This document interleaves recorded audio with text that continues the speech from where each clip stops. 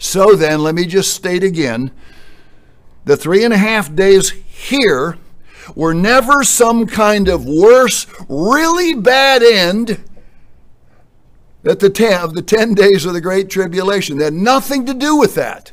It's so bad that they've got to be there for the three and a half days that matches Daniel, Daniel um, 12 7. They're utter and absolute opposites. Curiously, with six and a half days in front between them. Three and a half days of raging hell on the world. We're going to talk a little bit more about it and three and a half days of God pampering the saints who were worn out and so tired they couldn't even drag into camp in time to be there for five days.